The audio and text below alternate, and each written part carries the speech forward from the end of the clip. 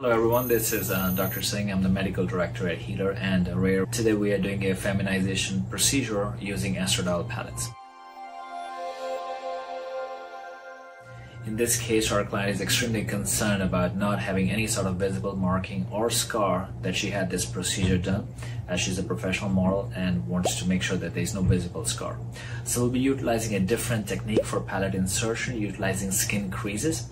This technique is not commonly used because it is technically a little bit more challenging and the rate of complications can be higher especially in an untrained hand. We'll be numbing the skin crease area and we'll be um, advancing the pellets and these pellets they'll start dissolving in about 7 to 10 days. In this case, we are utilizing 250 milligrams of estradiol, which is a good starting dose for her. If we feel like she needs more, the next procedure will be increasing the dose to 300 milligrams. So let's go ahead and get started and you will learn about this new technique for pellet insertion with no visible marking or scar in the gluteal region. So just a tiny poke, okay? Just a little lidocaine, okay? Stings a little bit, that's all.